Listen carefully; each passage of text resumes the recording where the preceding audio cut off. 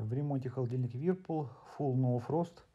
Э, заявленная проблема нет охлаждения в холодильной камере. То есть у него произошла проблема с заслонкой. То есть сейчас вы видите, то есть шестерни у него заклинили вот заслонки.